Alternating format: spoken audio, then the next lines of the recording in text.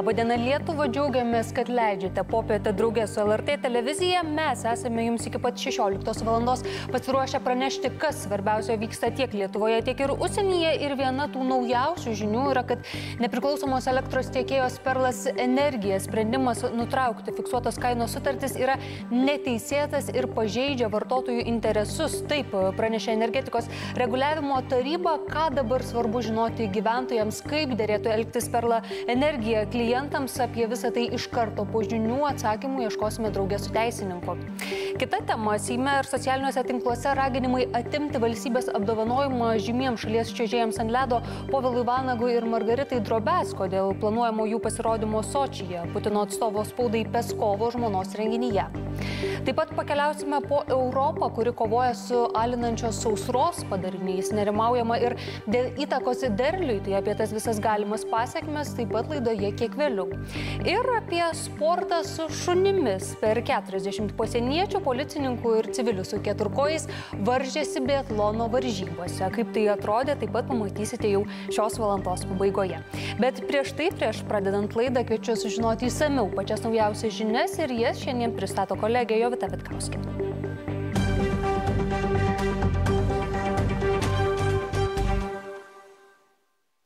Labadiena, kviečiu žiūrėti žinias.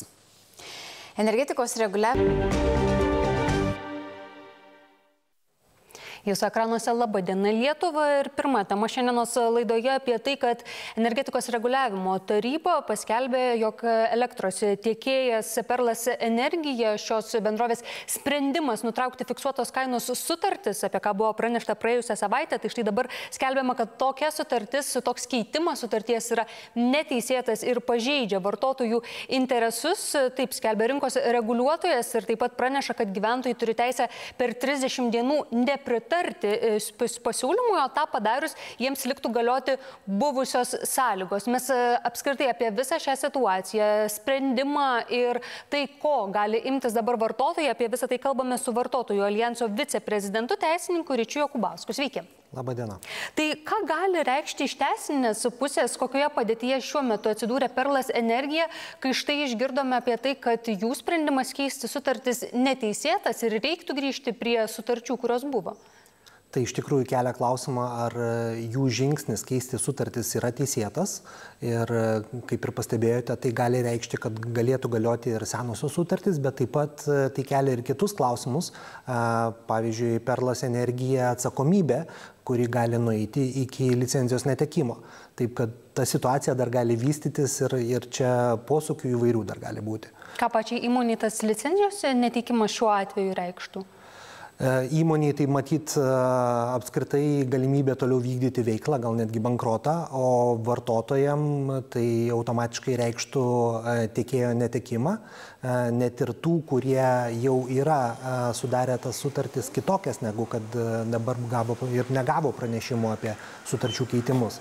Taip kad čia yra mm, tų variantų, kaip gali viskas pasisukti, tačiau norėčiau iš karto pasakyti, kad e, bent jau mes ragintumėm vartotojus susilaikyti dabar nuo labai skubių sprendimų priimtų per, per kelias valandas, nes e, matom situaciją, pranešimai išėjo tik tai penktadienį, ar ne, dabar praėjo tik viena darbo diena ir jau mes turim gana nemažai informacijos ir nemažai vertinimų, tame tarp ir valstybės institucijų vertinimų.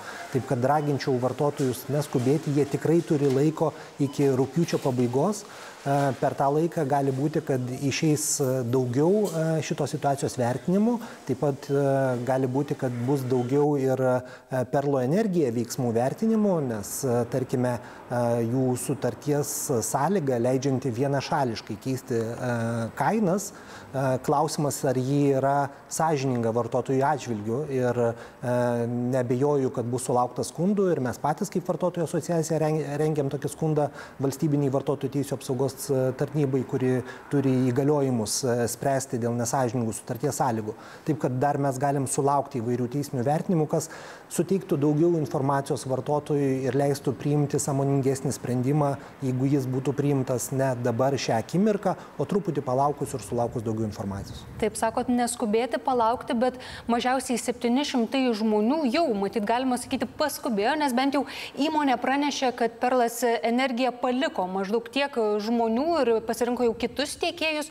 Kas tų žmonių rankose? Nes dabar štai girdime, kad galbūt reiks ir grįžti prie sutarčių vykdymo sprendimo, tai ar tie žmonės, kurie jau, pavyzdžiui, per šį savaitgalį pasirinko kitus tiekėjus, kas jų rankose? Ar jie gali tikėtis, kad bus atlyginta tai, kad jie, pavyzdžiui, pasirinko kitus tiekėjus, kurių kainos galbūt didesnės? Čia visų pirma klausimas, ar tie žmonės norėtų grįžti į tą situaciją, ypač turint omeny, kaip Perlas energija elgesi su vartotojais, nes e, aš manau, kad visi Perlas energija vartotojai šiuo metu, jų klientai šiuo metu labai rimtai kelia savo klausimą, ar aš apskritai noriu turėti reikalų su tokiu e, paslaugų tiekėju. Tai čia vienas elementas, kitas elementas yra, tai jeigu jau yra vartotojai apsisprendę ir galbūt išėję, tai, tai viskas yra tvarko, jie galbūt tik laukia preteksto ar ar kitos aplinkybės, bet 700 nuo to 170 tūkstančių, kurie yra Perlas energija klientai, tai čia tikrai yra nedidelis skaičius. Bet ar apskritai realu, pavyzdžiui, nes čia buvo tokių teisininkų pasiūlymų, kad, e, sakykime, pasirinko kai kurie žmonės kitą elektros tiekėją, jis brangesnis negu siūlė Perlas energija.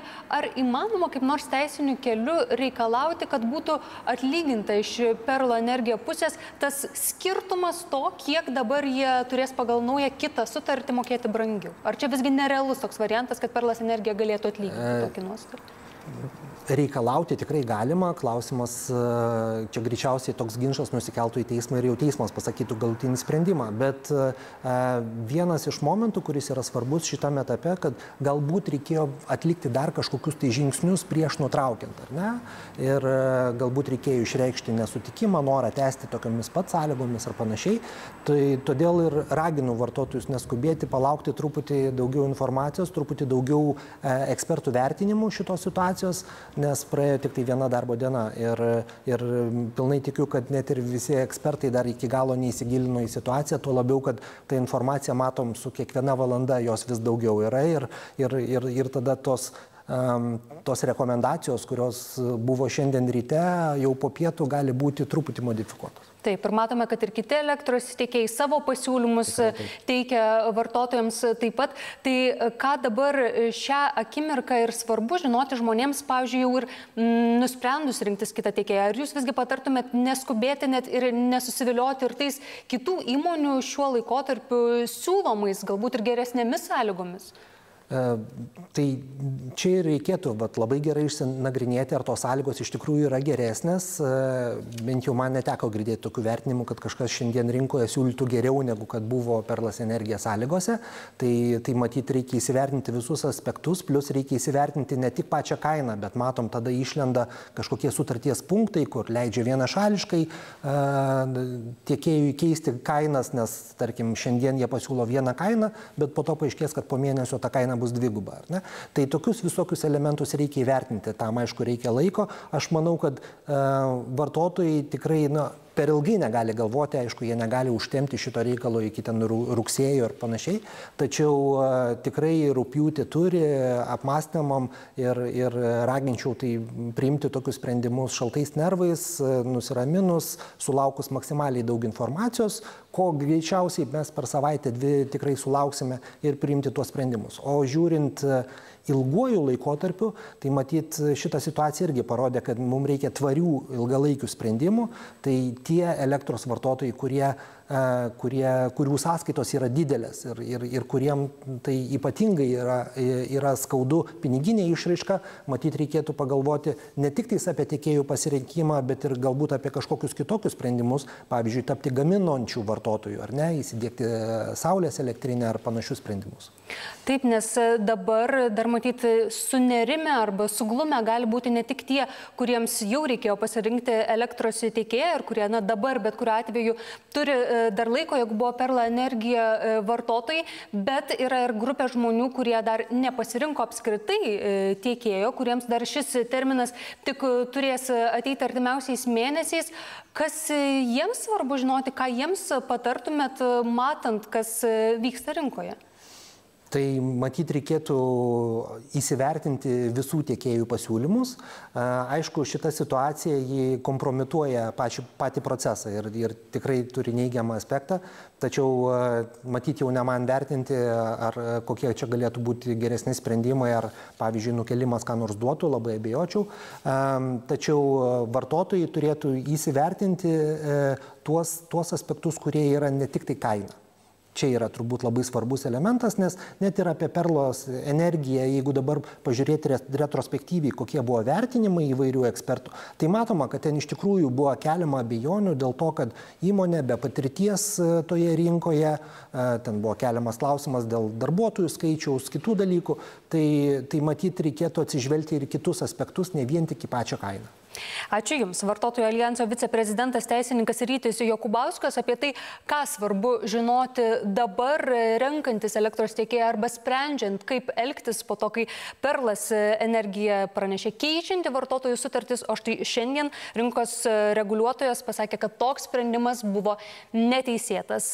Daug reakcijų ši tema sulaukė, o dar viena tema, kuri taip pat ypač daug aptarinėjama savaitgalį buvo ir socialiniuose tinkluose, tai e, Lietuvos labai tikrai žymios ledo šokių poros Margaritos Drobesko ir Povilo Vanago ketinimai pasirodyti renginyje Rusijoje ir Seime keliamas dėl to klausimas, ar turėtų būti Drobesko pilietybė dėl to atimta, bet to yra ir įvairių siūlymų, kad valstybės apdovanojimas taip pat turėtų iš šių čiuožėjų už tai būti atimtas. Mes praeivių Klaipėdos gatvėse paklausėme, kokia jų nuomonė ir ar reiktų atimti valstybės apdovanojimą šių čiuožėjų.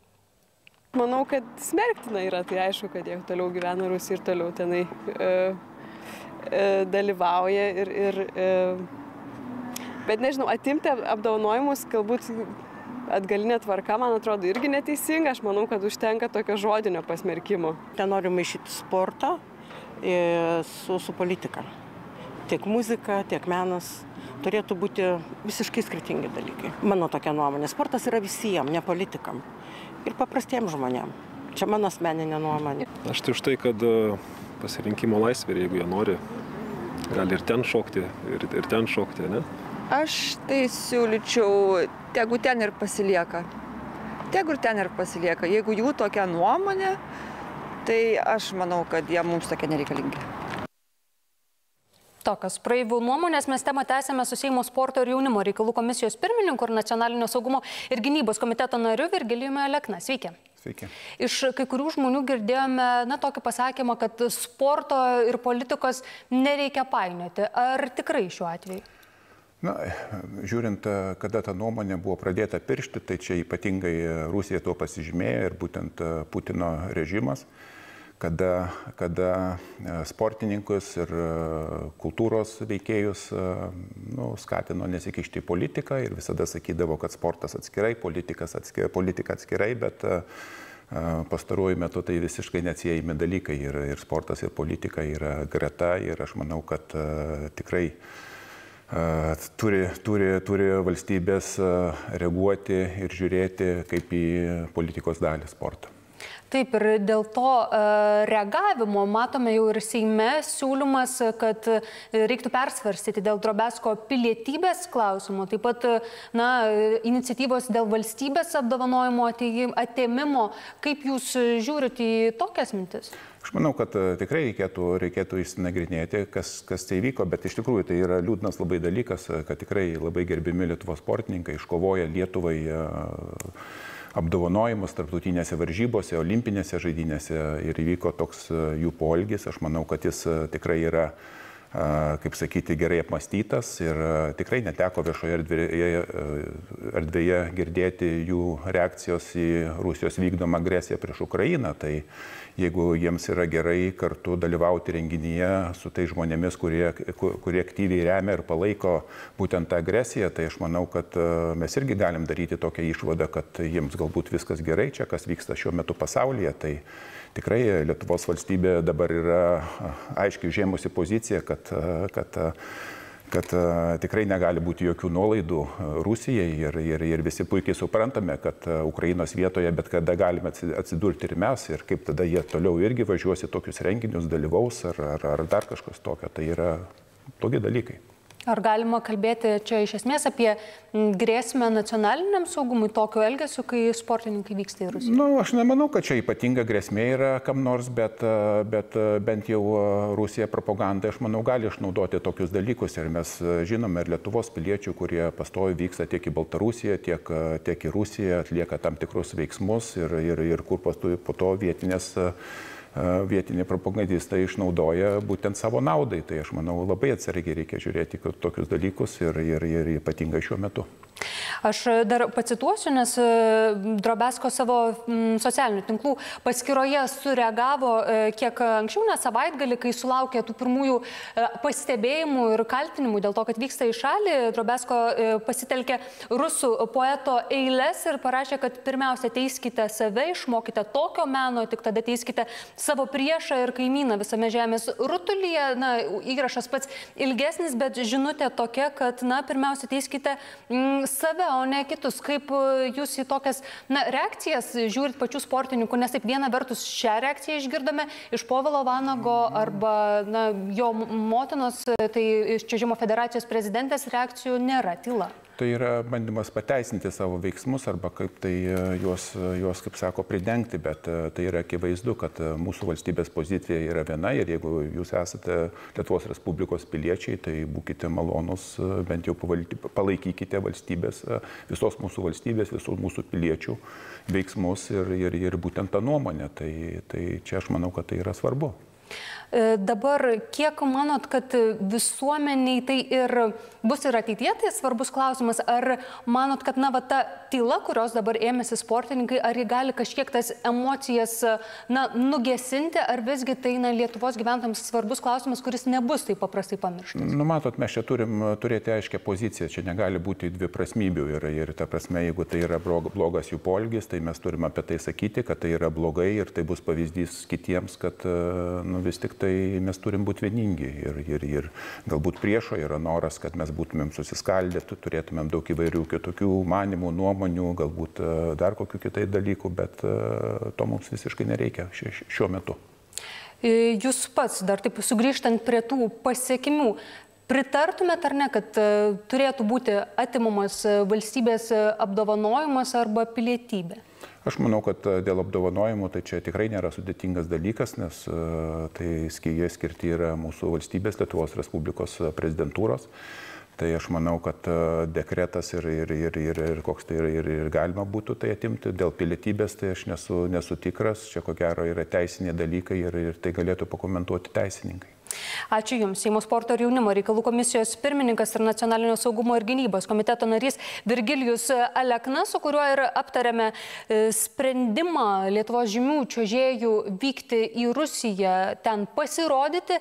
Mes e, paklausėme ir apie reakcijas ir jūsų, tai yra e, LRT Facebook'o paskyroje buvo užduotas klausimas, ar pritarėte siūlymui iš Drobesko ir Vanago atimti Lietuvos valstybinę apdovanojimą, ar galime pasižiūrėti, kokios žmonių reakcijos reakcijos. Maždaug e, kiek daugiau negu 4 tūkstančiai žmonių pritartų tokiam sprendimui ir beveik 2 tūkstančiai nepritartų. Jeigu jūs turite kitokią nuomonę, tai taip pat galite apsilankyti LRT Facebook'o paskyroje ir ją taip pat pareikšti.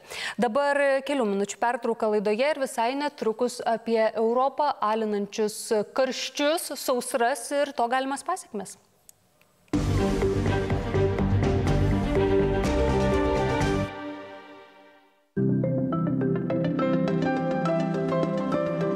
Valandą vasarai persiritus į antrą pusę Europoje antra karščio banga ir pasižyminti itin didelėmis ir sausromis ir dėl to kalbama apie galimas to pasiekmes visai Europai. Tai mes dabar įsamiau apie tai ir pakalbėsime su užsienio naujienų redaktorė Jolanta Paškevičiūtė. Sveiki.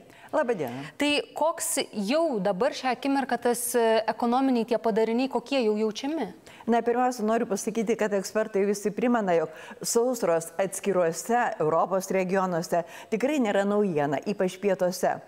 Bet taip, kad džiovintų vos ne visą žemyną, tai iš tikrųjų yra retenybė ir tokios sausros bent jau, na, ši dabar gyvenanti karta tikrai neprisimena. E, kai degina nuo Vengrijos, Vokietija, Iberijos pusėsalį ir netgi Niderlandai, šalis, kuri, na, galima, kurią galima laikyti tokia vandens šalimi, taip pat perspėja gyventojus gerai pagalvoti prieš tai, e, prieš plaunant automobilį netgi. E, na, Europa išgyveno prieš ketverius metus taip pat didelę sausrą, bet dabar, jeigu kalbėtume apie, e, na, tokios sausros padarinių aspektus, tai Reino upė yra gerokai daugiau nusekusi negu 2018 metais, kai buvo ta didžioji sausra ir ko gero bus, na, sumušti visi jos pasiekti rekordai. Na, Reino upė. Tai apdainuota ir Getės, ir kitų poetų, ir taip pat, na, tiesiog vos ne Vokietijos tapatumo simbolis, tačiau ir svarbus labai vandens kelias. 300 milijonų tonų krovinių yra gabenama Reinu. Ir maždaug 80 procentų Vokietijoje plukdomų e, vandens keliais krovinių tenka Reinui, na kita dalis tenka Elbei, Rūro upiai, Dunojui ir taip toliau. Ir štai va stovint pakrantėje, matosi gerai kyšančios uolos, smėlio juostos, ten, kur pasagėtės turėtų ramiai tiekėti Reinas. Na ir dėl to, kad faktiškai upė yra labai nuslūgusi, dideli laivai, kurie plukdydavo iki 6000 tonų krovinių, dabar gali pasikrauti vos 800 akivaizdu. E, na, poveikis ekonomikai yra labai didelis, juolab, kad Reinas Vokietijos pramonės centrus jungia ir su Rotterdamu, ir su Amsterdamu, ir su kitais, e, su kitais svarbiais na, uostais ir miestais. Ir faktiškai, na, pamažu yra paralyžiuojamas tas kelias.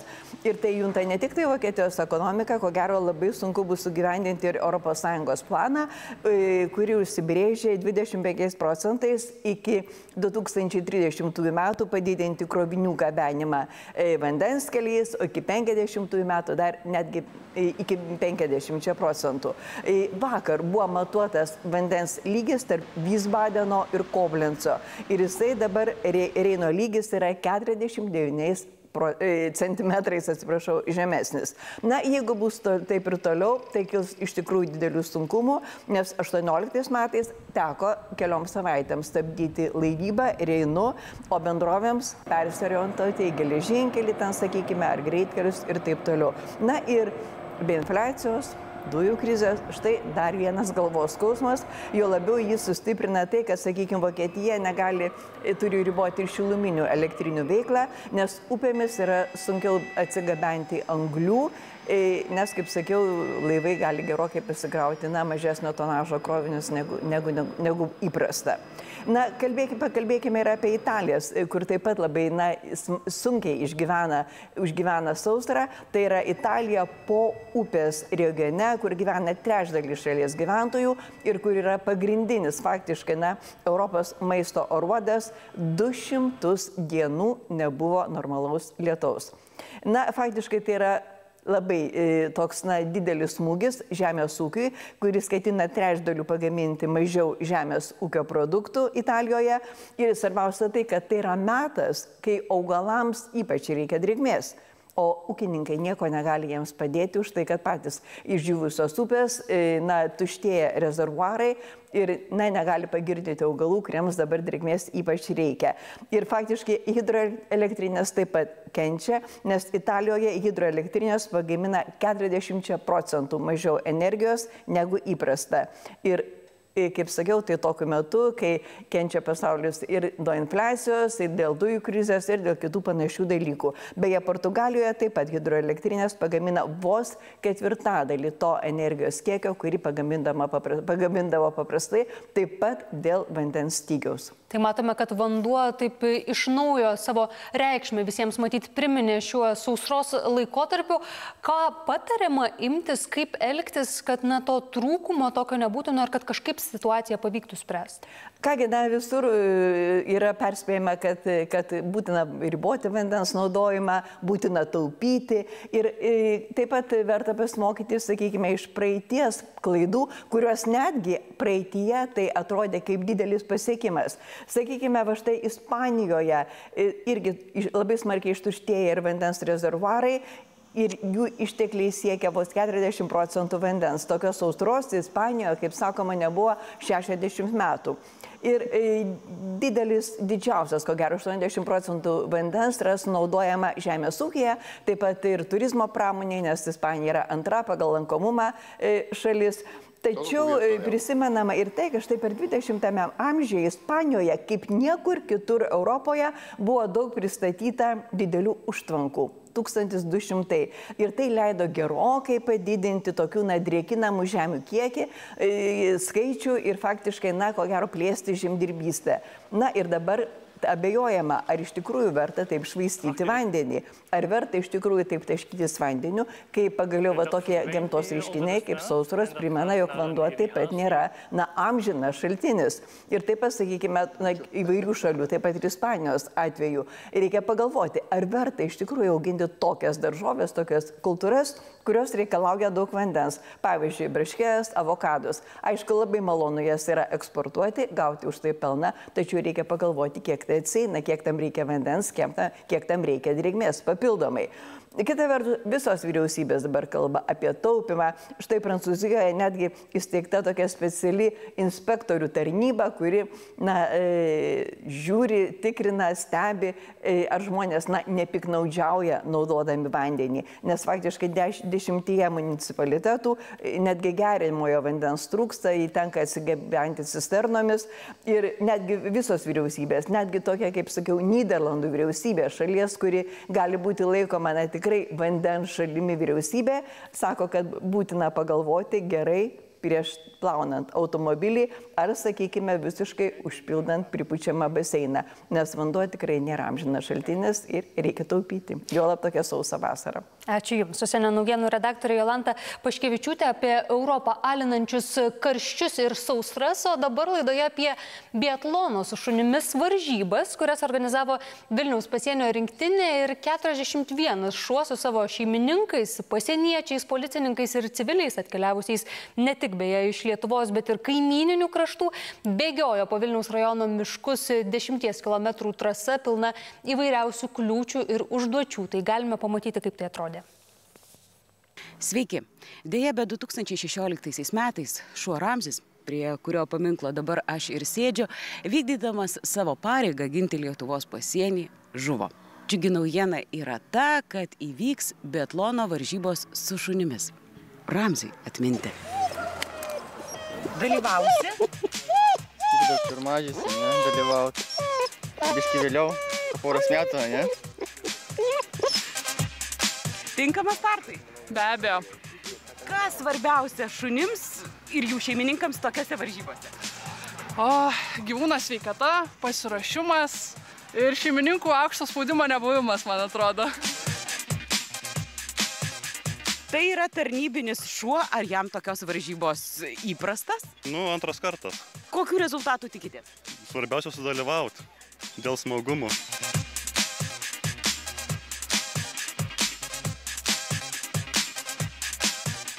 Жарко будет, я чувствую. Bus karšta jaučiu. Azartai? Nuo azarto? Ir azartas, ir jaudulys. Pirmą kartą bandysime tokią trasą ir dar tokią ilgą. Tai kas labiau bijo? Aš. Jis dar nežino, kur jį atvežiau.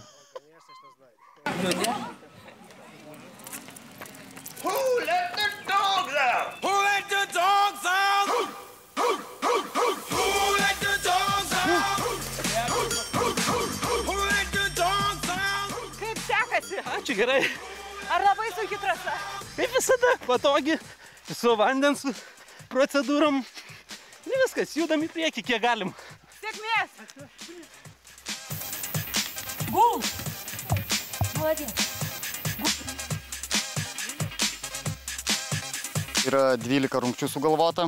Apie šitas rungtis, ką mes sugalvojame, yra tik sužinoję šiandien ryte prieš startuojant.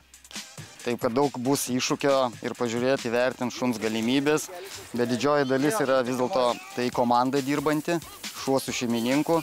Dėl to tokių rungčių yra sugalvota, kur šunį neša, šunį turi vežti, šunį turi tempti, kažkur ten plausto. Kas geriau šiandieną dirba pareigūnai ar civiliai? O, klausimas geras. Man atrodo, kad ir tie, ir tie.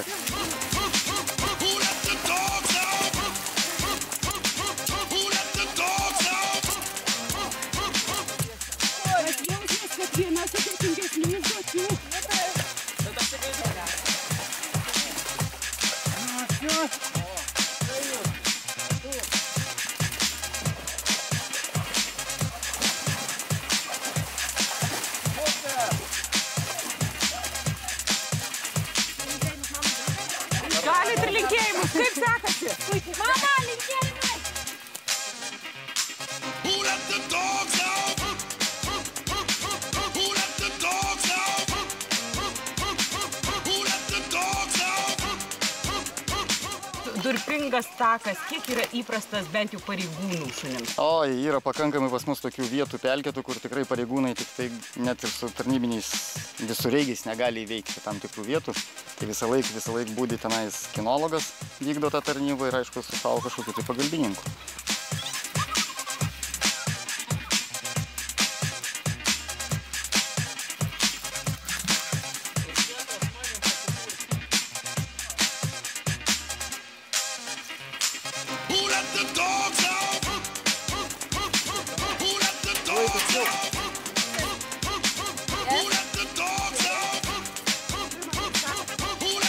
Kokius įgūdžius va, tam karutyje jūs čia bandot e, patobulinti arba pasiaiškinti? Gal nepatobulinti, vėlgi, e, šuo turi pasitikėti šeimininku. Jeigu šeimininkas, antras dalykas tai yra dar plius ir bendras paklusnumas, kaip tu šunį gali valdyti, kokioje situacijoje.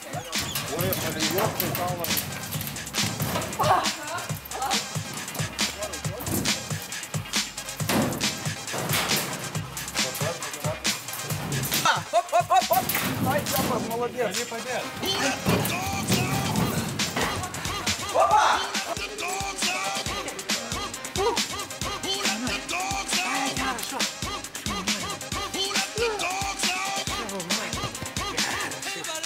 Čia yra belga. Jam malonumas, man yra sunkiau. Jim praktiškai nelabai ir pavargo. Jums kokia užduotis buvo sunkiausia, o šuniui kuri lengviausia? Man, man buvo upė su juo plaukti, nes jį gyvenime nemačius vandens. Tai pradėjo mane skandyti. Plaukti tiesiog ant manęs ir tai čia buvo sunkiausia. Čia pirmas mūsų biatlonas, bet labai patiko. Manau, kitais metais vėl dalyvausiu. Kokia šuns savybės atradot? Supratau, kad jeigu šuo kitas prieki bėga, tai jis dar nori azartiškesnis. Kągi, esame prie finišo linijos ir Piranija yra tarptų 41 šunų, kuri jau pasiekė finišo e, liniją. Kaip matote, jau poilsio akimirkos prasidėjo ir net nebejoju, kad tiek Piranija, tiek e, visi kiti dalyviai šiandieną patyrė be galo daug įspūdžių. Buvo geri įspūdžiai, geri, geri. Na, o dabar belieka atsiimti tik tai prizą, skanesnį kasnelį. Grįžtam į studiją. Pavargai, ar ne? Pavargo Piranija. Ačiū tau, Davilė, o jūs, jeigu nepavargote dar kaip tie keturkoji, tai kviečiu ir toliau likti LRT televizija. Visai netrukus eterija jūsų laukia naujausios žinios, kuriuose įsamiau ir apie tai priminsiu svarbę informaciją, kad energetikos reguliavimo taryba pranešė, jog elektros tiekėjo Perlas energijos sprendimas nutraukti fiksuotos kainos sutartys yra neteisėtas ir pažeidžia vartotojų interesus ir anot rinkos reguliuotojo gyventojai turi teisę per 30 dienų nepritarti pritarti pasiūlymui ir jų sutartys turėtų galioti kaip iki šiol, na, o Perlas energija pati įmonė sako, kad aiškinsis, kodėl taip skirtingai su energijos rinkos reguliuotojų interpretuojami visi šie niuansai, taigi įsamiau apie tai pačiose naujausiose žiniuose 15 val. O iš karto po žinių jūsų lauks politologo Lino Kojalos komentaras, aptarsime politinės aktualijas, tarptautinės, o kiek vėliau ir infliacija, kuri vis dar fiksuojama rekordinė, bet dalis ekspertų pastebi, kad panašu, kad gali būti pasiektas pikas ir nuo šiol galbūt infliacija mažės. Tai ar tikrai taip mano ir mūsų ekspertas laidoje, kurį kalbinsime, sužinosite visai netrukus. Likite su LRT.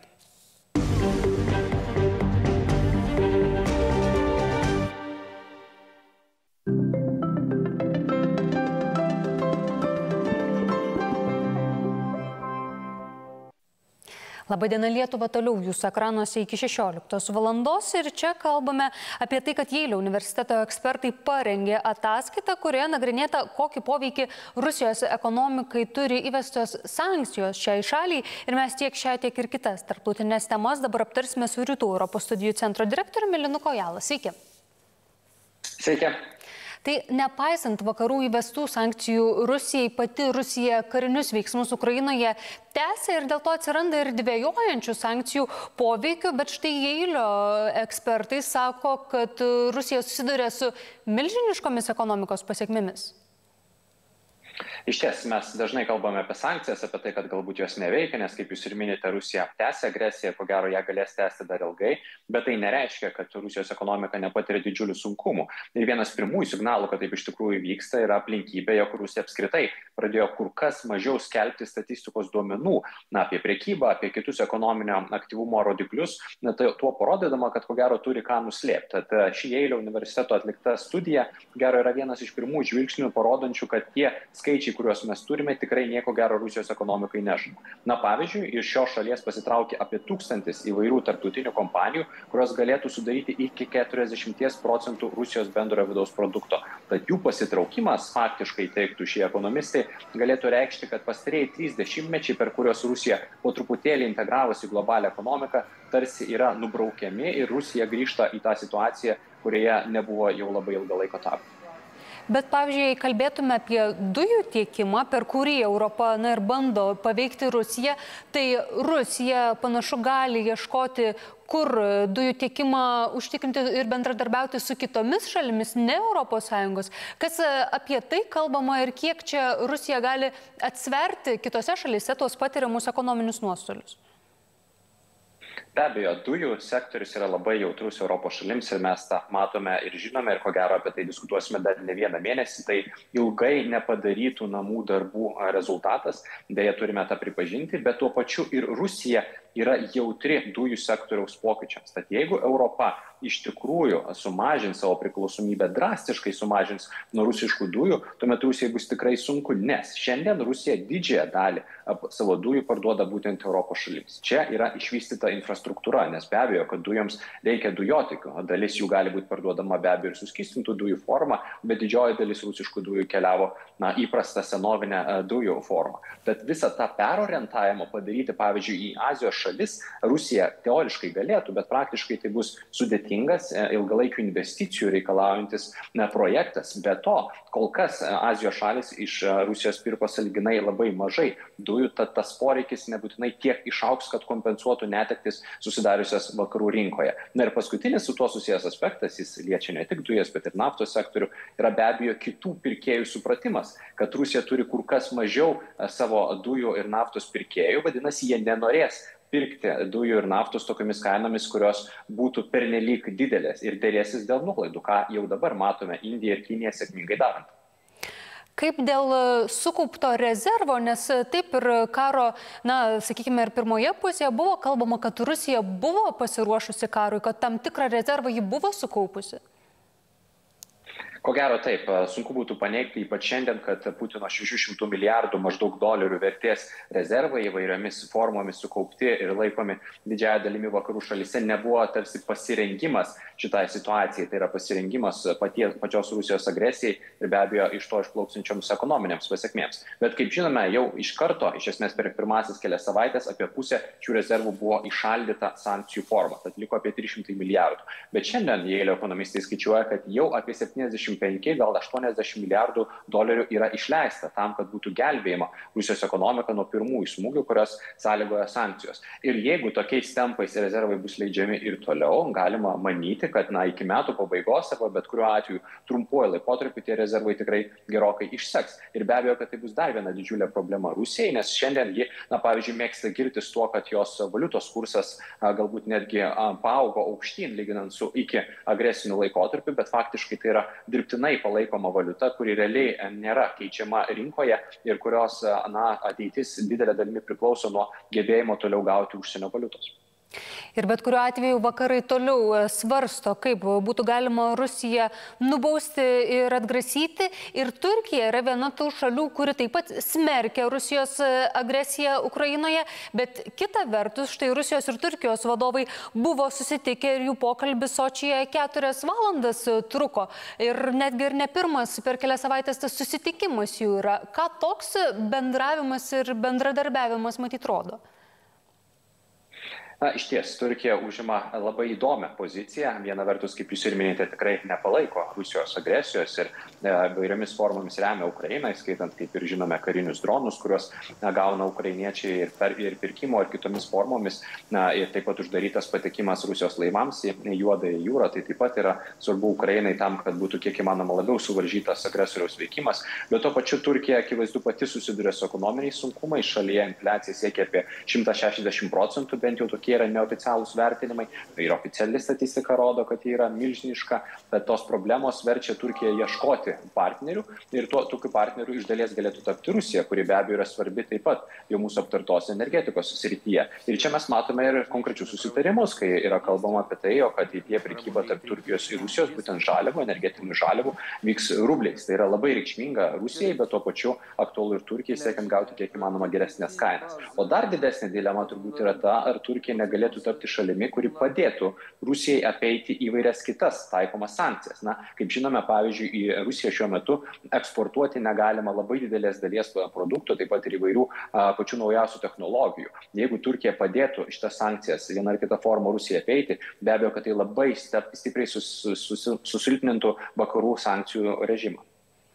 Ar tai gali kelti klausimų Turkijos kaip tarpininkės vaidmenyje, nes ji, na, žinom, yra grūdų eksporto klausimų, prisijėmė tam tikrą tarpininkavimą, bet štai matome, ji konkrečios naudos, ypač iš Rusijos pati nori ir siekia. Ar gali tai tapti kliūtimi šaliai kaip tarpininkiai?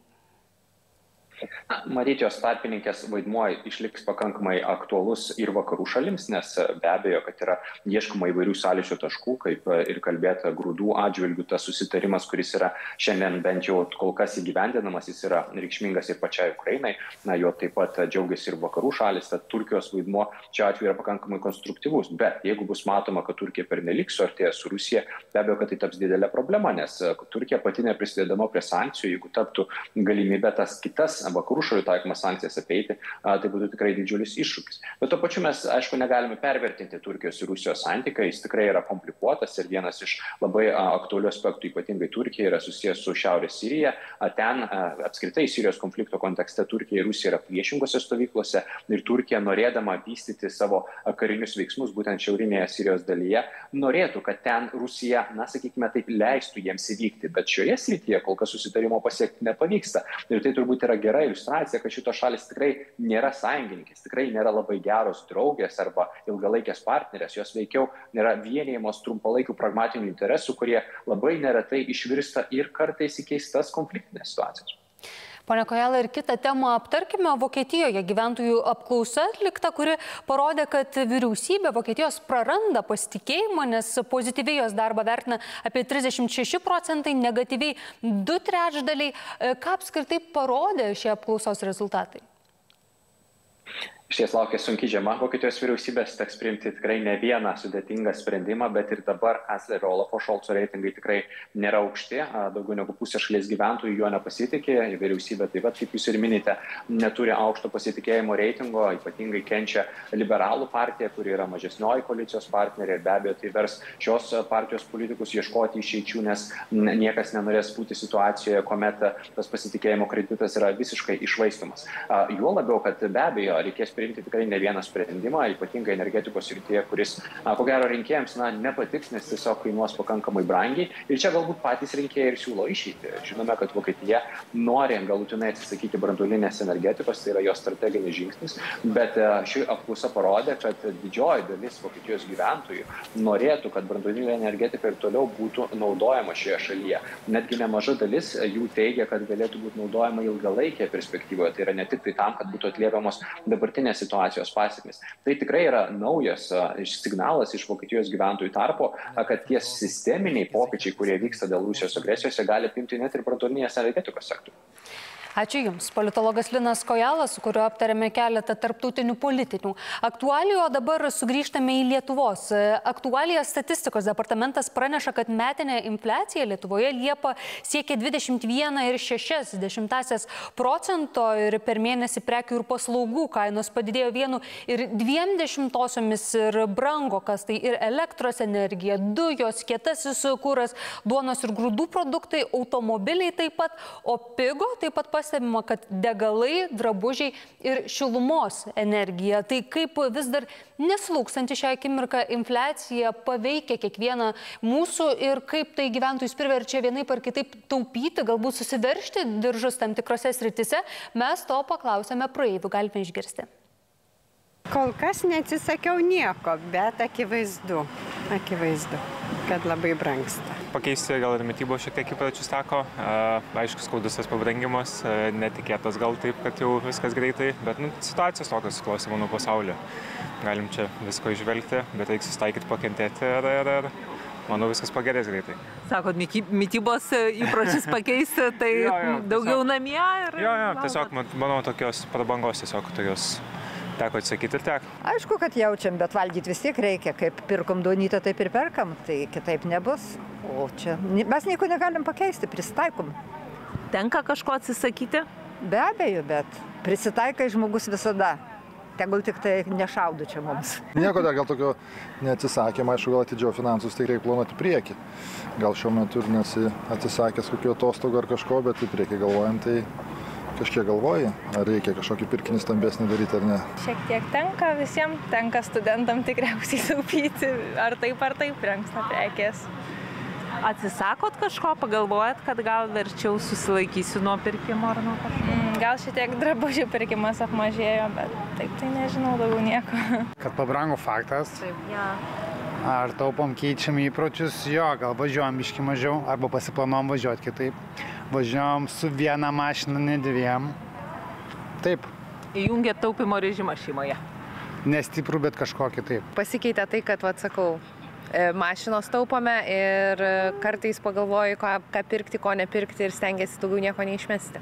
Kūras, maistas, o daugiau kas pabrango, tai visi produktai, kiek mačiau. Ir čia nieko gero, man atrodo. Keičiat įpročius savo. Koks įprotis. Nu, kokius nors taup, taupot gal labiau, žiūrit, gal Nu, akcijas. kas gali pensininkas taupyti? Kiek yra tiek išleidai, palieki mokesčiams ir kas yra maistui, ten komunaliniams, būtų nuomo ten ar panašiai. Ko sutikti praeiviai, o mes temą tęsėme su Kauno technologijos universiteto profesoriumi Vytautu Snieška. Sveiki. Labą dieną. Tai girdėjome, dalis gyventojų sako taupantys ar automobiliu rečiau važiuojantis arba kaip nors taupiau ar kitų priemonių imasi, bet bet kuriuo atveju dujų ir elektros kainos toliau kyla, infliacija aukšta, bet štai dalis analitikų sako, kad infliacija jau pasiekė piką, jau išsikvėpė. Ar jūs sutiktumėt su tokiais teiginiais? Na, žinot, sunku būti būrėjų, nes iš tikrųjų infliacija labai labai daug įvairių veiksmų įtakoja. Na ir tokius- tokioj situacijoj, kuris suklausė dabar, kai vyksta karo veiksmai, kai e, blokuojami yra energijos rautai, e, gaunasi daugybė šokų energetikoje pirmiausiai ir ta energetikos šokas keliauja per visas grandinės tiekimo tolyn ir, ir maisto kainoms atsiliepia vis daugiau. E, Mano nuomonė, e, dar poveikis maisto kainom dar neišriškėjo šito energetinių šokų, dar, dar vėliau išriškės, kai kurie ekspertai galvoja, kad e, ypač gali daug problemų būti 23 metais. Va, todėl, kalbant apie tai, kad jau toj pat nustos brangimas, tai gali sulėtėti, kadangi yra ir tas veiksnys, ką daugelis ekspertų pastebi, kad e, žmonių perkamoji gale e, jau, kaip sakant, šiek tiek sumažėjo dėl to, kad e, kai kam pabrangus ir pinigų sumažėjo pas tam tikrą dalį žmonių. E, Na ir e, čia nieko nuostabaus nėra, nes, e, žiūrėkim, taip, e, įvyko šokas energetikos, tai pradeda trūkti kai kurių prekių. E, Tai e, ir tos prekės svarbiausia yra gyvybiškai būtinos, jos reikalingos tarkim, transportavimui, maisto gaminimui ir taip toliau. Kitaip sakant, jų turėtų reikėti, gauti reikėtų tiek, kiek reikia, o jų sumažėja. Tai tada natūralu, kad kainos pradeda kilti dėl pirkėjų konkurencijos. Na, yra dar ir kiti veiksniai, atsiranda ir tarpininkai, tarkim, dabar pradedama pykti Junktinės Amerikos valstijose ant kai kurių energetikos gigantų, kad jie labai didelius pelnus uždirbo dabar brankstant energetikos išteklius. Žodžiu, turim tokią makalynę įvairiausių veiksmų, kurie globaliu mastu taip jau vis tiek stumia kainas aukštyn. Ir turint omeny, kad Aiškiai, iš tikrųjų gyventojai turi prisitaikyti prie e, trūkumo kai kurių prekių, tai natūralu, kad taupimas verčia, aišku, ir mažiau vartoti. Dabar e, perspektyvos, kad Lietuvoje sulėties, e, taip yra kainų augimas. Aišku, aš negaliu garantuoti, kad jau visai baigsis kainų augimas. Taip, tikrai tos e, priežastys pagrindinės e, energijos deficitai, konfliktai ir dar nesibaigė, tai jos iš toliau turės savo poveikį. E, na, taip pat, aišku, kaip ir pastebima, kad prekybos centrai, jie bus priversti, išgraibyti tą likutį pinigų, kurie yra pas gyventojus na o tai vienas iš būdų yra tame kad na šiek tiek bandyt konkuruot kainomis. Aišku tikėtis kad prekybos centrai labai aktyviai kainomis konkuruos neverta nes tai tiesiog būtų jų žlugdymas jeigu taip atsitiktų. Patys save sužlugdytų Tai ką iš e, savo pusės e, patartumėt patiems gyventojams, e, nes taip kalbat, kad na, dar neaišku, ar tikrai tas kainų mažėjimas artimiausių metų bus, kur jūsų manimų labiausiai gyventojams apsimokėtų gal pataupyti, gal pakeisti savo vartojimo įpročius, kad būtų lengviau taupyti ir mažiau tų išlaidų būtų? Na, aš tai galiu, norėčiau įspėti, kad e, negerės labai situacija, nes priežastis jos pagerėjimui neatsirado, todėl kad, kaip ir minėjau, konfliktai sesės įvairūs ir taip toliau. Dabar tai, tai reiškia, kad būtina pergalvoti ir bet, atsisakyti bet kurių tokių, sakyčiau, na, išlaidavimo dalykų. Paprastai, e, kiek rodo istorija, tai yra atsisakoma įvairių turistinių kelionių, ten, reiškia, viešojo maitinimo paslaugų ir kitų ne pirmo būtinumo prekių. Tai e, norėčiau palinkėti gyventojams tą tokią filosofinę nuotaiką turėti, kad taip reikia e, taupyti. Ir dar turėti galvoj, kad aišku, pinigų perkamoji gale ir toliau mažės. Nu, gali padidėti, tarkim, kokį mėnesį kitą, bet bendroji tendencija nesikeis. Vat, tai reiškia, kad e, norint išgyventi, tikrai taupimas yra jau labai visiems svarbus. Na ir e, kalbant apie visą Lietuvos ūkį, tai taip pat, e, na, turbūt turėtų ir valstybės, vyriausybės nariai irgi pagalvoti, gal Kuria kryptim nukreipti finansus, kad e, būtų kuo mažiau pažeisti tie pažeidžiamiausi gyventojų sluoksniai. Nes vienas dalykas, kur, tarkim, žmogus uždirba į mėnesį porą tūkstančių, tai na, jiems realiai sumažėjus pajamoms iki vieno tūkstančio dar galbūt gali jisai išsiverst, bet jeigu žmogaus pajamos 500 eurų mėnesinės, tai jau tada pabrangus viskam jau labai sunku pasidaro. Ačiū Jums apie infliaciją kylančią ir galbūt ir šiek tiek prilėtėsiančią. Artimiausiu metu kalbėjome su Kauno technologijos universiteto profesoriumi Vytautu Snieška, o Jūs, žiūrovai, kviečiu toli nuo ekranų nepabėgti, kadangi visai netrukus kalbėsime svarbę temą apie nemokamą patikrą dėl hepatito C.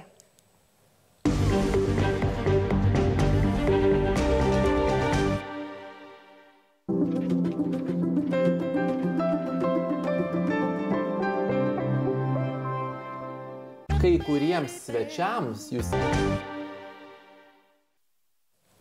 Lietuvoje jau galima nemokamai pasitikrinti dėl hepatito C, kuris šiaip jau dar vadinamas ir tiliuoju žudiku. Ir medikų teigimu, ta nemokama patikra ne tik padės kontroliuoti viruso plitimą, bet kartu tai itin svarbus žingsnis ir kovoje su vėžiu. Sveiki. Skaičiuojama, kad Lietuvoje maždaug 50 tūkstančių suaugusiųjų galėtų būti itin pavojingo viruso hepatito C platintojais.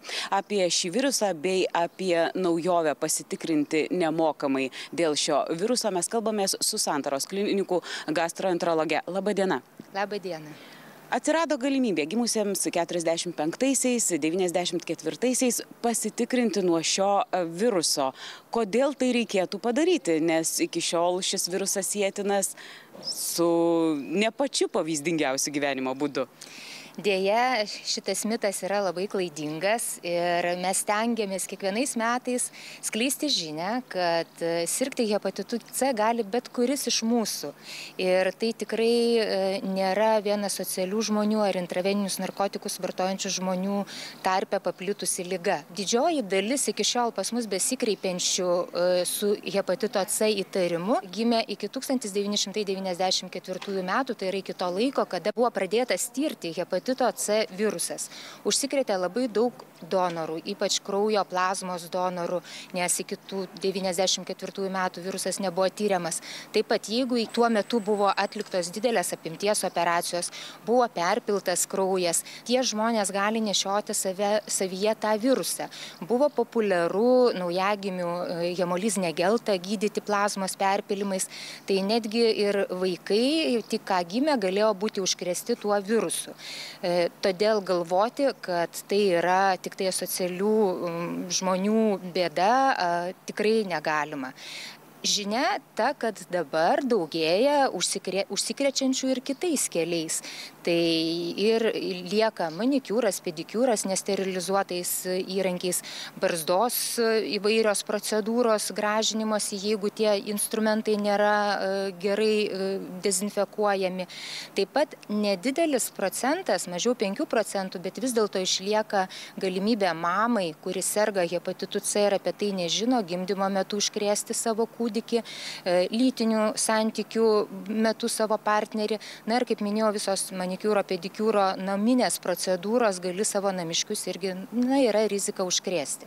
Todėl labai džiaugiame šitą programą, kad e, iš tikrųjų yra sudaryta galimybė e, nemokamai pasitikrinti visiems ir laiku įtarus lygą jie bus nukreipti e, tolimesniam ištyrimui. Mes arba paneiksime, nes 10-15 procentų žmonių pasveiksta savaime ir randami antikūniai prieš hepatito C virusą, bet tai nėra lygos žymuo. Mes tikriname, ieškome paties hepatito C virusą, tiesiog atlikdami kraujo tyrimus, patiksliname, kiek yra pažeistos kepenys, atlikdami paprastus ultragarsinį tyrimą, kepenų elastografijos tyrimą. Tai vėlgi dar vienas mitas yra, kad žmonės bijo sužinoję apie apie hepatitą C, kad reikės kepenų biopsijos. Kepenų biopsija šiais laikais atliekama itin retai, tik tai, kai yra neaiškus lygos atvejai. Dar vienas mitas yra, kad hepatitas C neišgydomas. Tai vėlgi tą mitą norime paneigti jau ne pirmi metai. Turime puikius geriamus vaistus, kurie yra labai efektyvūs ir hepatitas C yra išgydomas per 2-3 mėnesius. Tai tiesiog bijoti nei lygos diagnozės, nei diagnostinių tyrimų, nei gydimo tikrai nereikėtų. Na, o žinoma, jeigu lyga jau yra toli pažengusi, mes slėpėmės. Pasirodo, iš tikrųjų, iki 30 procentų dabar pirmą kartą pas mus besikreipiančių žmonių jau su tam tikromis išsivyščiusiomis kepenų komplikacijomis. Dar norėčiau pažymėti, hepatitas C veikia ne tik kepenis. Iki 40 procentų atvejų galimi ir viso organizmo kitų organų sistemų pažeidimai. Tai gali būti ir sanarių, ir skydliaukės, ir nehočkino limfomos dalis yra siejama su hepatito C virusu. Ir kartai žmonės tiesiog pasveikia, jie sako, užaugo sparnai, atsirado energijos, nes ir nemotivuotas greitas nuovargis gali būti hepatito C simptomas. Nes šiaip tikrųjų simptomų lyga neturi turi ir todėl jinai ilgai tie gali ilgai slėptis ir žmonės na, nesikreipia ir galvoja, kad man nereikia. Čia tik tai medikai sugalvoja, kad reikia tirti tą hepatitą C. ar būtina tirtis ir tiems, kurie yra kraujo donorais, nes paėmus kraują jis yra ištiriamas? Šiais laikais yra išsamei ištiriami visi kraujo donorai, tad tikrintis tikrai nereikia, nes yra patikrinama kiekvieną kartą donuojant kraują. Tai gal čia yra būdas pasitikrinti nuo hepatito C, tampant kraujo donoru? Tikrintis tiesiog nuėjus į kraujo perpilimo centrą, ne, nerekomenduojame. Jeigu turit bet kokį įtarimą, nemokamai kreipiantis į šeimos gydytoją iki tampant kraujo donoru. Ačiū Jums už pokalbį. Na, o aš primenu, kad e, pasitikrinti nuo hepatito C gali visi nemokamai gimę 45-94 metais. Grįžtam į studiją. Ačiū Dovilė už ir priminimą, ir paraginimą. Čia studijoje, kaip ir visuomet laidos pabaigoje, socialinių tinklų apžvalga. Ir šiandien kolegė Audra Vyžiūtė. Sveika. Sveika. Ir pradėsime nuo Ukrainos. Pradėkime nuo Ukrainos. Visą savaitgalį lietuviškose socialiniuose tinkluose plito portalo vienybė težydį.lt adresas ir štai tokia e, socialinė kampanija - maistas ar vaistai su, nu, su nubraukimu na, ir šūkis pataisytas į maistas ir vaistai.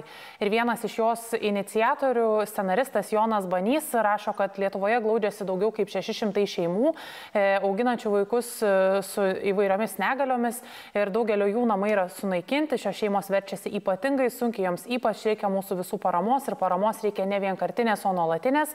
Na ir sako, šiam tikslui kartu su Lietuvos Raudonoju kryžiumi ir sutelktinio finansavimo platforma yra sukurta nauja programa Vienybė te žydė ir ji ir yra skirta remti būtent tokioms šeimoms. Viskas vyksta labai paprastai, galima tiesiog atsidaryti portalą ir jame matyti e, kelių ar keliolikos šeimų istorijos, galima kiekvienos iš tų šeimų istoriją paskaityti, susipažinti bent jau per nuotraukas ir paukoti konkrečiai kiekvienai šeimai, kad jai nereikėtų rinktis e, ar už turimus kažkokiu būdu gautus ar galbūt uždirbtus pinigus šį mėnesį pirkti maisto ar pirkti vaistų. E, Olegas Šurajevas dalyjasi štai tokia, e, tokiu kadru iš protesto. E, turbūt ir taip aišku, kad vis dar kalbame apie Amnesty International ir jų praėjusios savaitės raportą susilaukusi atgarsio socialiniuose tinkluose ir žiniasklaidoje dėl neva na, teiginio, jog Ukrainos kariai, įkurdami savo bazę šalia civilių žmonių, taip sukelia jiems pavojų pavojų. Na ir Olegas Šurajevas rašo, kad žmogaus teisės svarbu visada, bet kokiam kontekste, bet šiandien veidmainiška reikšti tokias žinutės, kurias po to laimingai naudoja rusai vykdant genocidą. Jola pasaulis dar nepadarė 10 procentų to, ką turėtų padaryti Rusijos atžvilgiu. Virginijus Savukinas taip pat, sako, taip pat apie tai pasisako ir cituoja Amnesty International vadovę, kuri teigia, kad nepaisant ukrainiečių trolių polimo ši organizacija tvirtai gina skandalingos ataskaitos apie ukrainiečių kariuomenę kariuomenės taktiką. Ir sako, šiandien e, Reuters jau išplatino Amnesty International, tai čia įrašas yra vakar dienos, kad buvo išplatintas atsiprašymas. E, ir, na, panašu, sako, kad tokių atsiprašymų nepakaks ir, na, Virginijaus savo kino nuomonę vadovė pati netgi turėtų atsistatydinti. Ainius Lašas rašo, jog, e, na, apie, vis dar apie paramą Ukrainai ir apie tai, kad ji saliginai yra lėta, sako, bežiūrint, bežiūrint į saliginai lėtą tokių ir panašių sistemų perdavimą, jis čia mini konkrečią konkrečias priešradarinės raketas. E, na, sako, kyla klausimas, kas čia vyksta, kodėl vakarai dėlse perduoti daugiau sofistikuotos ginkluotės, bet to, kad kariuomenė turi išmokti naudotis nauja ginkluotė, sako, man susidaro įspūdis, jog Junktinės valstijos Rusijos atžvilgių taiko varlės virimo strategiją. Taip situaciją vertina jis. E, The Kiev Independent Twitteryje dalyjasi Rusijos netektimis. E, na, čia šios dienos informacija. Tiesa, turbūt vėlgi reikėtų priminti, kad tikros didžiausios netektys, ko gero, bus aiškios e, šiam karui pasibaigus ir tai, na, sudėtinga visada turbūt tik apytiksliai galima skaičiuoti, bet čia, na, ir karių gyvybės, ir tankai, ir artilerijos sistemos, e, laivai, lėktuvai, sraigtasparniai, automobiliai ir visa galybė kitos karinės technikos, kurios jau neteko ir kasdien netenka Rusija. Na ir dar Andrius Tapinas dalyjasi, jo gavo apdovanojimą vyriausios žvalgybos valdybos prie Ukrainos gynybos ministerijos serijos, tai yra antrojo laipsnio medalis už pagalbą kariniai žvalgybai. Ir kaip jis sako pats, nors ant apdovanojimo yra jo konkrečiai pavardė, tačiau sako, tai mūsų visų medalis, kiekvieno, kuris aukojo, dalyjosi, palaikė, organizavo ir stengiasi, kad Ukraino žvalgyba turėtų daugiau akilų elektroninių akių. Ir Audra, kita labai taip pat gyventojams dažnai svarbi tema yra orai. Iš tiesų iš pradžių gal e, norėčiau taip romantiškai pažvelgti į, pakviesti pažvelgti į naktinį dangų. Sky Chasers puslapis, kuris fiksuoja tikrai vienus gražiausių vaizdų, kas vyksta danguje, jeigu netyčia nepakeliate į akių, primena visiems, jog rūpjūčio naktys yra pats geriausias laikas stebėti e, meteorų lietų ir, na, sako, kadangi meteorų lietaus pikas bus užgoštas pilnaties, lyskit lauk vos gavę progą. Na ir dalyjosi, jog šią naktį buvo matyti labai spūdingi meteorai, taip pat girdėjau, kad naktis iš trečiadienio į ketvirtadienį ir iš ketvirtadienio į penktadienį taip pat, sakoma, turėtų būti pakankamai gedra. Tai tiesiog labai siūlau e, nepatingėti, paukoti tą porą valandų miego ir keliauti pasižiūrėti ir nepamiršti sugalvoti norą. Orai ir klimatas Lietuvoje praneša, jog orų modeliai ir toliau nuomonės nekeičia ir laukia puikus laikas, jeigu planuojate savo atostogas. Sako, dar vakar dalyjosi gera žinia tiems, kurie norėtų vasariškai šiltų ir sausų orų. Panašu, kad kol kas pildosi ir kuo arčiau link savaitgalio keliausime, tuo orų temperatūra bus vis didesnė, o lietaus tikimybė mažesnė. Čiapulio fotoklajonės, Marius Čiapulis žmogus, kuris dalyjasi gamtos fotografijomis, e, su liūdnesnė šiek tiek žinia, kad vasara, sako, eina į pabaigą, čiurlių šeškinėje nebėra. Na, o sako, jeigu matysite daug didelius gandrų būrius, tai parašykite jam laišką arba susisiekite su juo socialinėme tinkle. Na ir Jaunius Pakauskas dar į šią vasaros pabaigos temą tiesiog labai skaudžiai primena, kad Liko lygiai trys vasaros savaitgaliai, tai galiu turbūt kartu su meteorų lietum palinkėti tik tai juos kažkaip smagiai praleisti, kad nereikėtų paskui sakyti, kad štai prabėgo vasara ir dar, pavyzdžiui, nespėjau trakose vandens dviračių paplaukioti arba jūro išsimaudyti. Spėjau. Vieną, tai, vieną taip, kito ne. Gerai, dar turim keli savaitgalius tam. Dar yra šiek tiek laiko. Bet policija dėl kažko mus įspėjo, įspėjimų pasidalijo, koks tai įspėjimas? Virtualusis policijos patrulis įspėja apie laiškus gaunamus į elektroninį paštą. Dažnai jie keliauja į vadinamąjį e, spamo puslapį arba išlamšto puslapį, tačiau kartais pasiekia ir mūsų pagrindinę pašto dėžutę. Tai štai, e, kad galėtų rinkti asmeninį informaciją, dažniausiai sukčiai kūrė netikras svetainės. Vartotojai prisiregistravę prie šių svetainių jau kitą dieną į savo elektroninio pašto žinutės pradeda gauti išlamštą. Na ir gali apsimetinėti ir Google, ir PayPal. Ir čia, ko gero, labai labai svarbu būtų priminti, atkreipti dėmesį, kad e, pradžioje turėtų būti štai toks trumpinys. Jeigu jau lankotės svetainėse, socialiniuose tinkluose taip pat aptarėme, kad ir Lietuvos paštu buvo bandyta apsimetinėti, ir įvairiais bankų tinklalapiais bandoma apsimetinėti, ir kartais iš tiesų puslapiai suprogramuoti gana tikroviškai, atrodo, kad ir logotipai naudojami tie patys, ir netgi elektroninis adresas atrodytų primena, ne, neturi kažkokių šiukšlių savyje, tačiau sako, būkite geri, atkreipkite dėmesį, kad būtų HTTPS būtent tokios raidės ir kad būtų spynos piktograma, nes nes tuomet svetainė yra patvirtinta ir saugi. Tai priminimas tiesiog būkime atsargus internete, nes tobulėja technologijos, bet taip pat kartu su jomis tobulėja ir sukčiai. Taip ir Audra, e, mes laidos pradžioje jau rodėme LRT apklausą šiandien Facebook'e, dėl to ir žymiausiems Lietuvos čiažėjams turėtų būti atimtas Lietuvos valstybės apdovanojimas, dėl to, kad jie planuoja pasirodyti Sočyje, Rusijoje. Tai kokios reakcijos dabar, kiek tie skaičiai pasikeitė galbūt? Na, iš tiesų beveik 6 tūkstančiai reakcijų ir matyti, kad na, čia nežinau, kaip reikėtų traktuoti. Širdelės, ko gero, reikėtų traktuoti kaip na, palaikymą, jo galbūt atimti ir reikėtų. E, komentaruose žmonės rašo na, įvairiai, sako, kad e, Lietuva Rusija yra pripažinusi teroristinę valstybę, tai na, galbūt iš tiesų reikėtų imtis kažkokių veiksmų. Kiti sako, kad pilietybės atimimas yra per griežtai ir galbūt kažkaip nuosaikiau būtų galima vertinti. Na, štai kol mes dar nebuvome paskelbę e, tokio klausimo būtent Facebook'o paskyroje, visuomenininkas ir viešųjų ryšių specialistas Alkas Poltarokas, na, pasidalijo panašių pasiūlymų, tik ne atimti iš Margaritos pilietybę, bet galbūt na, Povilui Vanogui pasimti Rusijos pilietybę. Tai iš tiesų piktino visą savaitgalį socialiniuose tinkluose, nes ir Twitter'yje mačiau dalyjosi lietuviai e, ir taip pat Facebook'e buvo dalyjamasi Andriaus Tapino įrašų su klausimu, na, ar nėra čia žėjams ant ledo gėda už tokią veiklą. E, tai iš tiesų diskusijų tikrai labai daug keliantis klausimas. Ir pati Drobesko taip pat socialiniuose tinkluose tam tikrą atsaką pasaka, rus poeto eilės pasidalijo. Taip, jį pasidalijo poeto eilėmis, na ir galima suprasti, kad jį jaučiasi puolama, tačiau šioje vietoje nes, netausoja jos internautai ir sako, kad vis dėlto tai pačios menininkės, sportininkės sprendimas buvo pasirinkti čiuošti. Ir dar trumpai apie sodininkystę. Ir dar trumpai apie sodininkystę, jeigu kada nors e, sugalvosite atidžiau pasižiūrėti, kas slepiasi jūsų soduose ir daržuose, tai štai vieno fotografo, e, kurio nuotraukos taip pat plinta šiuo metu Instagramo tinkle, pasidalymai Brito fotografo, e, kuris, na taip atidžiai, sakykime, pasižiūri, kas slepiasi tarptų lapelių ir tarptų gėlyčių. Galbūt ne visiems labai jauku šias nuotraukas žiūrėti, bet bent jau taip, jeigu negyvai. Ačiū tau, Aldravičiūtė ir socialinių tinklų apžvalga. Ačiū Jums, kad buvote draugė su mumis visai netrukus 16 val. Naujausios žinios ir jo vita, taip kad kviečiu likti draugė su LRT ir toliau.